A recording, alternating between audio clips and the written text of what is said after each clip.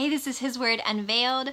We are diving into the Word of God and more of the story of Hezekiah. So, we hit in our last video, in our last chapters that we read, talking about this good dude, King Hezekiah. And it's about time that someone was like, you know what? We're not doing this right. We're not doing this God's way. So, love that we finally saw this, this king doing right in the sight of the Lord according to all that his father David did. Of course, we knew that his real father was King Ahaz, who was super bad dude. But Hezekiah then doing right in the sight of the Lord, following after the example of King David. So good. So we are continuing in that story and talking more about Hezekiah. Let's go after it. Most important part is right now where we sit in the presence of the Lord. We meet with Him. We let God speak to us. So let's do this. Our reading for today is going to be Second Chronicles chapters 30 and 31. Then we will jump over to Psalms 48. So that's it. Go meet with the Lord. Let him speak. Let's let things, you know, happen in our lives. Let's be changed. Let's be different people when we are finished reading. Let's let God just have that much power, have that much reign in our lives, over our hearts and our minds right now for such a time as this as we read through these chapters. So Second Chronicles chapter 30, Second Chronicles chapter 31, and then Psalms 48. Go do your thing. I'm going to do mine in praying. And then when you're ready, as soon as you're finished, however long it takes, hit play, join me. We'll go over this. We'll just give God all honor and glory, and we're just going to let Him have His way. So let's do this. I'm so excited for you. I'm so excited for me. I'm so excited for what God is going to teach us and show us and do in us. Yes. Let's go after it. Let's go after the heart of God. So go do your reading, go sit with Him, prepare your heart. I'm going to pray. Here we go.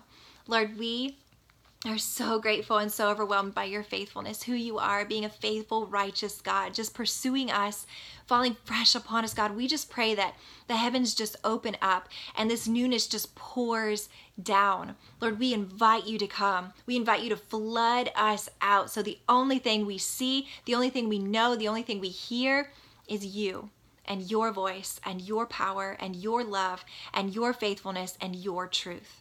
Father, we invite you here. We ask for you to meet us here right now. Teach us, be our, our guide, be our wisdom, be our insight. We love you. We give this entire time to you. Be Lord over everything in this moment. In Jesus' name, amen. Second Chronicles chapter 30. Let's go at it. So continuing on into King Hezekiah. So we saw in 29 that he assembled the priests and said, Consecrate yourselves. We're going to consecrate the house of the Lord. We saw all of this action taking place, just this beautiful time of getting together, of doing things right, of setting things in order, of getting all the service of the house of the Lord established once again. So good. So this carries us into chapter 30. Okay, very first verse says, Now Hezekiah sent to all Israel and Judah, and wrote letters also to Ephraim and Manasseh that they should come to the house of the Lord at Jerusalem to celebrate the Passover to the Lord God of Israel. So Hezekiah is saying, Okay, I'm going to send messengers out. I'm going to invite everyone around to come and celebrate the Passover of the Lord. We're going to make this a big deal because it should be a big deal because he's a big God and his word and his commandments and his law we need to take more seriously. So, verse 5 says So they established a decree to circulate a proclamation throughout all Israel from Beersheba even to Dan that they should come to celebrate the Passover to the Lord God of Israel at Jerusalem, for they had not celebrated it in great numbers as it was prescribed. So this up until this point, they have not celebrated the Passover together in a large group as a large community as a nation coming together, gathering together and doing these celebrations. It doesn't say that it hasn't been celebrated at all, just not celebrated in great numbers. So it was probably celebrated in the, you know, within the individual's home and their family, things like that. But according or, or um you know, as a big group, as as everyone together, this has not been done in years upon years. And King Hezekiah is looking at this like, what in the world? Why haven't we been doing this? This is what the Lord commanded us. This is what community is to be is coming together and worshiping the Lord, celebrating celebrating our God and all he's done and all he is, celebrating the Passover and remembering remembering who he has always been to us. and for us. So, verse 6 says, the couriers went throughout all Israel and Judah with the letters from the hand of the king and his princes, also according to the command of the king, saying, O sons of Israel, return to the Lord God of Abraham, Isaac, and Israel, that he may return to those of you who escaped and are left from the hand of the kings of Assyria. So let's stop on that. This is getting sent. This message is getting sent by these couriers of the king and going out. Um, and commanding and saying, Hey, come and celebrate the Passover. And this is going out to all. It says, Oh, sons of Israel. So um, went throughout all of Israel and Judah. Now, at this time, some of Israel has been taken captive. They are held captive in captivity in Assyria. So the kings of Israel came after Israel. We know clear back with King Ahaz that Ahaz reached out to the Assyrians for protection, relied on them for protection and deliverance instead of seeking out the Lord. And from that, the Lord appointed the Assyrians to rise up and to then deliver Ahaz at that time, to deliver Judah from the hand of the king, the king of Israel and from the king of Aram at that time. So we saw the Syrian army came and took, killed the king of, of Aram. And also then after some time from that, came after Israel, besieged Samaria, captured it, had it, and took um, Israel then captive. So they are in captivity. But some of those, not all of Israel, was captured. Some escaped. And we see right here that he may return to those of you who escaped and are left from the hand of the kings of Assyria. So those who were not held in captivity, that they are scattered throughout, that they had escaped, that there are groups of them all over the place um, in the land of Israel. So this message was to go out throughout all of Israel and Judah and to everyone who is not held in captivity. Every single person from Israel and Judah is to get this message and saying, Come. Let's gather, let's be together. This is a command set out that you should come and celebrate the Passover with us. Then part of this message was in verse 7. Do not be like your fathers and or your brothers who were unfaithful to the Lord God of their fathers, so that he made them a horror as you see. Now do not stiffen your neck like your fathers, but yield to the Lord, and enter his sanctuary which he has consecrated forever, and serve the Lord your God, that his burning anger may turn away from you. For if you return to the Lord, your brothers and your sons will find compassion before those who led them captive, and will return to this land. For the Lord your God is gracious and compassionate and will not turn his face away from you if you return to him. So, this message is saying God is a righteous God and he is faithful. Let's not be like our fathers, the kings who were before me, who turned away from the Lord, and look at their end. Look what happened. Look where it got us. Look what we were led into. It got us nothing but destruction and defeat, and we saw all of these things happening. Hezekiah is saying, We're doing this right. We're not going to be like them. We're setting a new standard, and that's going to be aligned with the law of the Lord, what He commanded. We are coming together, we're doing this thing right, and we are going to glorify God. And then just screaming the faithfulness of God, where He says, The Lord your God is gracious and compassionate, and will not turn His face away from you if you return to Him. The righteous God, saying, Look what our fathers did, look what these kings did before, and look at the consequence, look at the result, look how it ended up. But if we return to the Lord, if we humble ourselves, if we come together, if we celebrate Him and seek Him out and do this thing right, then He will return to us. He will be a faithful God to us. He will bring about blessings for us. He will build our nation up. He will be our God. So then we see the response of the people in verse 10. So the couriers passed from city to city through the country of Ephraim and Manasseh and as far as Zebulun, but they laughed them to scorn and mocked them. Verse 11 Nevertheless, some men of Asher, Manasseh, and Zebulun humbled themselves and came to Jerusalem. This is it. Guys, when we're living for the Lord, we're going to have a lot of people mock us and scorn us. They're going to laugh at us. They're going to turn away from us. They're going to call us crazy. That's just going to happen. Because as we love the Lord, the world's going to hate us because they hate the Lord. They don't want anything to do with Him, so why would they tolerate us? Guys, we have got to just be okay with that, with that kind of rejection, with those kind of attacks coming up against us. It says some laughed at them and mocked them. that they didn't receive it at all. They were like, whoa, what? That's crazy talk. That's crazy talk. All that celebrating the Passover, that was way back then. That was like, that was for their culture. That things are, things have changed. Times have changed now. That's not, that's not necessary now. That's not really what God expects from us now. That's really not going to bring about blessings doing that. That was way back then. Guys, can you hear that? That's the message that we hear in our world today. That people, oh, those miracles, that was for that time. That that's no, that's no. Th- that kind of stuff doesn't happen now. Those miracles of healing, those God being a mi- no. No, that was for then. I believe that he did it then, but that's just not going to fit into our culture now. That's just not what happened. A word given, this prophecy spoken, oh, that was back then. There were so many prophets then, but guys, we no, the same God then is the same God now. He doesn't change. He doesn't diminish in power. He doesn't say, oh, times are different, so I'm going to be a little, you know, it's going to be a little, I- am not going to be, you know, God of miracles. Guys, same God. Then, same God now. But these people, that's, they're like, nope, we're laughing. That's crazy talk. You're being a little too radical. Guys, we're going to hear it and we just need to be focused in on the Lord. We need to hear Him, and we just need to keep rolling, uh, moving forward, rolling along, moving forward in obedience in all God calls us to do.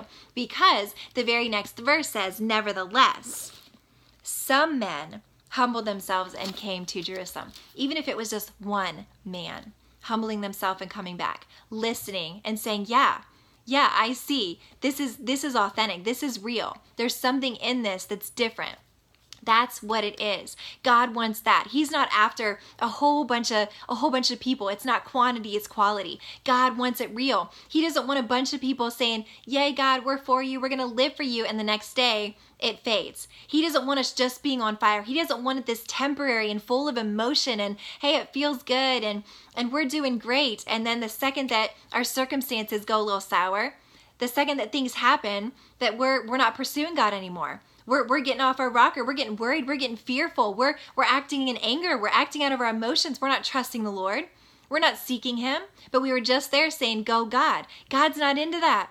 He's not about that. He wants the people gathering, even if it's just one person, even if it's just a few people. If they're going to be real, God says, yes, that's worth celebrating. That's worth getting excited for. Because what Jesus did, he found one soul. He would have found one soul worth all the pain that he went through. If only one person would have received him, if only one person would have said, I believe in you and I want you, Lord, over my life, Jesus, come into my life, Jesus would have died for that one person. If you were that person, if you were the only person that would have come to him, Jesus would have died for you. Jesus, he just wants it real. God just wants those with authentic surrender saying, I'm in this for life. I am in this until the day I die.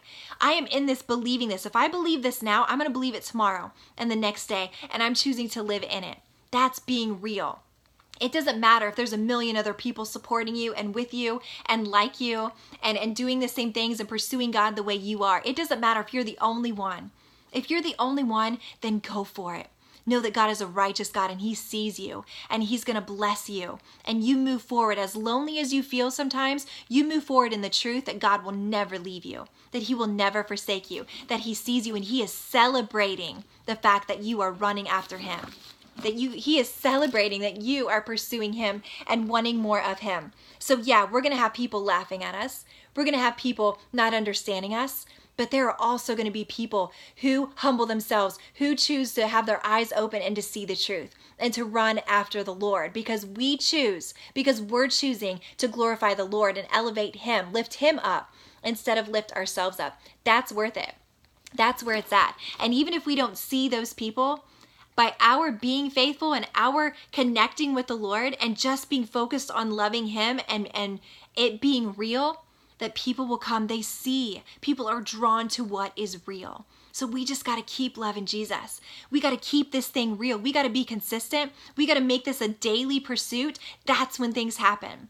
That's when real powerful things happen. And that's what we're called to do and called to be and live in because God wants us free. And God wants as many people as as will be authentic and be real to come that everyone is invited. Everyone is invited to come into his blessings, to come into this celebration of life and freedom and victory. Okay, with that, some mocking and some humbling themselves and returning to the Lord. Verse 12 says, The hand of God was also on Judah to give them one heart to do what the king and the princes commanded by the word of the Lord. So again, King Hezekiah, king of Judah, that God, it says the hand of God um, gave them one heart to do what the king and the princes commanded them as far as celebrating this Passover, doing things right, getting back to the beginning and what God commanded them to do. Okay, verse 13. Now, many people were gathered at Jerusalem to celebrate the feast of unleavened bread. Verse 14 says, They rose and removed the altars which were in Jerusalem. They also removed all the incense altars. So they're saying, yeah, we're here for a celebration, but we're also here to remove all of the evil, all of the wicked, everything that's kept us from doing this. Up until this point, we're removing it all. We're getting rid of it all. Okay. Uh, we see in verse 18 this this talk about some of them who came to celebrate. Um, it says many actually from Ephraim, Manasseh, Issachar, and Zebulun had not purified themselves. Yet they ate the Passover otherwise than prescribed. For Hezekiah prayed for them, saying, May the good Lord pardon everyone who prepares his heart to seek God, the Lord God of his fathers, though not according to the purification rules of the sanctuary. And in verse 20 it says, So the Lord heard Hezekiah and healed the people. God is not after perfection. He laid out the commands of these rules Hezekiah prayed and saying, Look, all these people, they're coming. They're not perfect. They may not understand what to do. They may not be, you know, a, a, part of this and familiar with this, but they're here to worship you. They're here to praise you. They're here to celebrate this feast and lift you up. And Hezekiah prayed for them. And I love how God saw that. He's saying, I see your heart. I see that they're here. I see what they're after. And I'm going to teach them. And I'm going to walk through this with them. And verse 20, love that. So the Lord heard Hezekiah and healed the people. Verse 21 The sons of Israel present in Jerusalem celebrated the feast of unleavened bread for seven days with great joy. Then in verse 22, then Hezekiah spoke encouragingly. Guys, this is a big deal. So much is going on. You've got people praising, you've got people eating and feasting and dancing. There's encouragement. Um, up in verses 15 through 18, we see the actual Passover. It was happening. They slaughtered the Passover lambs. They're just hooping and hollering and giving God glory and all the praise that He deserves. And in this, it says in verse 23 Then the whole assembly decided to celebrate the feast another seven days. So they celebrated the seven days with joy. They were overwhelmed. They were moved. They wanted to linger. They didn't want it to end. So they kept celebrating. They kept praising. They kept glorifying and all in joy, saying, We don't have to be here, but this is a good feeling. And it's not just feelings, but after so long of, of this, um, of the Lord just being not lifted up, not celebrated, not gone after, especially as a group. Guys, there is something real in that when we can come together and we can be for real and we can get a little radical and we can get a little Jesus crazy about how good he is. It's the times are gone where we we're, we're, we're just we stuff it down and and we're so serious and we're like Oh God, we got to be prim and proper around you. God just wants this release of freedom. He wants us to be able to express ourselves just fully all out, God, you are good. Doesn't matter how silly I look, doesn't matter how ugly of a crier I am when I just weep and I'm overwhelmed and moved by His Spirit, by who He is. Guys, just let loose. He wants this freedom and expression and expressing ourselves to Him and praising Him. And if it needs to go another seven days, then make it go another seven days. Continue that celebrating Him and lifting Him up. Verse 26 um, then says, So there was great joy in Jerusalem because there was nothing like this in Jerusalem since the days of Solomon, the son of David, king of Israel. Then the Levitical priests arose and blessed the people, and their voice was heard, and their prayer came to his holy dwelling place to heaven. So amazing. Like we said, this had not taken place since King Solomon. And now all of a sudden we have King Hezekiah listening to the Lord, pursuing him, pursuing him, and saying, We're going to make this happen. We are bringing this back. We are giving God his recognition. We are giving him his place here among the people where he intended to be, where he purposed to be for this, for this right now, what's happening, for this to be. So good. Okay, moving on to chapter 31. Now, when all this was finished, all Israel who were present went out to the cities of Judah broke the pillars in pieces, cut down the Asherim, and pulled down the high places and the altars throughout all Judah and Benjamin, as well as in Ephraim and Manasseh, until they had destroyed them all. Then all the sons of Israel returned to their cities, each to his possession. Love this. This huge celebration. And then again, let's go out. Let's take everything down. Let's destroy everything that stood in our way of receiving blessings like this, of having this joy. And, and being able to be free to celebrate and to praise God like this. Let's remove it all. Let's get rid of it all, not let even a little bit of residue last. I love this. It says, until they had destroyed them all, until everything was removed, everything was taken out everything was destroyed. Love that. Love that dedication. Love that we are all in. And we are trusting God with all that we are, believing that He is a righteous God, believing what takes place when we do get rid of all of this. It tries to hold us back, that, that tries to ensnare us, that will ensnare us if we if we give ourselves to it, if we expose ourselves to it. They're saying, uh uh-uh, uh, not today. These are new times. This is a new king. This is new leadership. We have a new heart, a new mind. This is a new celebration. It's on. Here we go. Getting rid of everything that stands in their way. Okay, then we see in verse 2 and 3 this um, that King Hezekiah is appointing the priests by their divisions. Everything just set up in this order. We keep seeing things at the end of verse 3 as it is written in the law of the Lord. Um, then we read about tithes and, and bringing in um, the the tithes that, that what was intended to be to the priests and the Levites so that they can do the service of the house of the Lord, bringing in what the Lord has commanded. Verse 8 says, When Hezekiah and the rulers came and saw the heaps, they blessed the Lord and his people Israel, that all this was coming in. Everyone was in it. Everyone was seeing the blessings of this and, and choosing to just praise the Lord and follow after his law. Um, in verse 10, at the end of verse 10, we see since the contributions began to be brought into the house of the Lord, we have had enough to eat with plenty left over, for the Lord has blessed his people, and this great quantity is left over. God, that's just how he works in abundance. This overflowing. When we go after him, it's this overflowing of blessings, this abundance of blessings. Verse 12, they faithfully brought in the contributions and the tithes and the consecrated things. So, just the faithfulness, speaking of who is in charge and who is over and who King Hezekiah had appointed for what things, we see that Azariah was the chief officer of the house of God. Um, in verse 15, in the middle of it, we see that to distribute faithfully their portions, we keep seeing this word faithfully, that the people were in this. They were seeing again that God gave them one heart to do this, to hear King Hezekiah, to move forward um, in this. God knowing the blessings that come from that, knowing the freedom that this gives. So just continuing in, everything was done right. Everything was done according to the law of the Lord.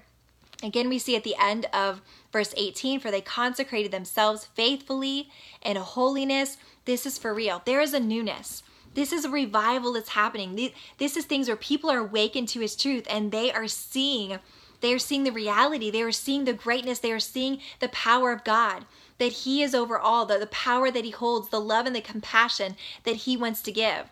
And what happens when we return to the Lord? So, verse 20, these chapters finish up. This video um, will not finish up because we're jumping to Psalms, but the end of uh, 31 finishes with verses 20 and 21. Thus Hezekiah did throughout all Judah, and he did what was good, right, and true before the Lord his God. Love that. Verse 21 Every work which he began in the service of the house of God, in law and in commandment, seeking his God, he did with all his heart and prospered so, so amazing. So beautiful after so many kings who were half hearted, who started off well, who whatever it was. So refreshing to see King Hezekiah, to read about him. Seeking his God, he did with all his heart, and he prospered. So good. Let's jump over to Psalms 48 and we will finish with this chapter. Great is the Lord, and greatly to be praised. In the city of our God, his holy mountain, beautiful in elevation the joy of the whole earth is Mount Zion in the far north, the city of the great king. God in her palaces has made himself known as a stronghold. Again, this is just lifting up God. I love beautiful in elevation, the joy of the whole earth. Is Mount Zion in the far north, beautiful in elevation. God is lifted up. God is a great God, a good God. And we think King Hezekiah coming right off of this celebration, celebrating the Passover, bringing all of these feasts back and, and in unity with one heart, just crying out to the Lord in authentic surrender and being all in, faithfully praising, faithfully worshiping, and going after the Lord. And we see this just continuation of praising God. Let's jump down to verse 9. We have thought on your loving kindness, O God, in the midst of your temple. As is your name, O God, so is your praise to the ends of the earth. Your right hand is full of righteousness. Again, righteousness. Hezekiah bringing up and saying the kings before, look what they did and look at the result. But my command is let's come, let's gather, let's celebrate. Let's celebrate this Passover Let's consecrate ourselves. Let's consecrate the house of the Lord. Let's do this thing right. Let's praise God. Let's obey Him. Let's believe Him that He is a righteous God. Let's believe that when we return to Him, He blesses. He returns to us. He pours out to us. He pours out compassion and grace and love and power upon us because He is full of righteousness. Your right hand is full of righteousness. This acknowledging, this praising, this lifting Him up and declaring how good God is. Let Mount Zion be glad. Let the daughters of Judah rejoice because of your judgments, because of who he is, because of his righteousness, because of the assurance of knowing. Simply, we know what's going to happen if we turn from the Lord. We know what's going to happen when we turn to him. Knowing that in that faithfulness. And when his judgments come, when we repent, when we humble ourselves, even after those judgments come, what God is faithful to doing, who he is in his faithfulness and receiving us and in allowing us just to enter in to his presence, enter into his blessings. What a faithful God he is. Okay, let's finish up with uh, verse 14. For such is God, our God forever and ever, he will guide us until death this full reliance on the Lord that so many kings before King Hezekiah relied on these other nations. We saw even his father, King Ahaz, relying on the king of Assyrians to come and to deliver him out of the hand of the king of Israel and king of Aram. Just then, but now we see this this this declaration of 14, he will guide us until death. That this is the Lord that we're going to rely on Him to guide us. We're going to rely on Him to deliver us. We're going to rely on Him to be our righteous God, to be our blesser and our rewarder when we choose to walk in His righteousness. So good. This lifting up, this choosing to see this choosing to know Him, to discover more of Him, to remember the ways that He has worked and who He always was and always will be. So good. I love this lifting up. I love this acknowledging Him and piecing all this together. The people get it. It's sinking into their hearts. He is a righteous God, He is faithful. And it's up to us. It is up to us if we turn away from Him or we turn to Him. Though the way our lives end, the way our lives go, it's up to us. Even in the pain, even in the suffering, even in the hard things that come our way, it's up to us if we're going to trust the Lord and receive blessings even in the midst of pain, or if we're going to turn away and be swept up in the judgment that comes against wickedness. Ah, oh, so good. He's such a faithful God. Love this, love this journey. Love those scriptures. Love our little break from Isaiah, even jumping into the Kings. So, so good. Thanks for joining me. Thanks for walking this out with me. I'm so excited for more. Cannot wait to discover more of his heart. Cannot wait to just hear more from him. Let's keep going after him. Let's keep going at it. Let's keep being purposeful. Let's keep our eyes wide open, watching, watching the miracles that come in this, from this, within this, after this all of it. Let's just watch God. Let's choose to keep our eyes on Him, our righteous God, our faithful God. Mm. May He be glorified through all of this. Thanks so much for walking this out. See you soon on my next video. Cannot wait to continue walking this out with you, connected to Him, praising Him together. So good. See you soon.